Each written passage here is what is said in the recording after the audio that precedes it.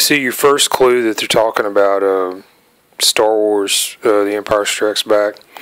It's in the plot lines of these two uh, films.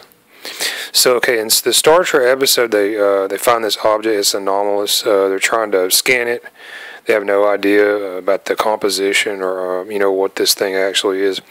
So in Empire Strikes Back in 1980, there's a similar uh, situation in the beginning of this film.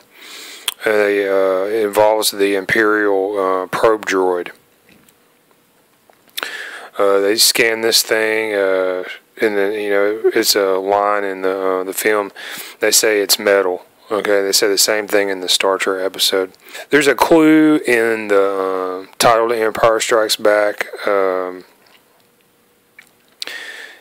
the Corbomite maneuver it deals with this uh, alien who represents um, a group called the First Federation, and uh, you know think uh, Empire basically. Uh, so there's another clue.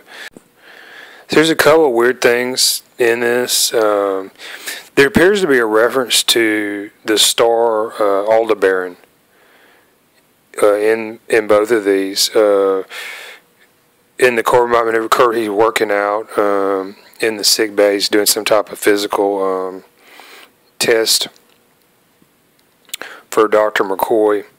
Uh, there's a, like a famous. He walks through the um, the corridors of the Enterprise uh, with his shirt off, uh, so his uh, upper body is more or less uh, barren.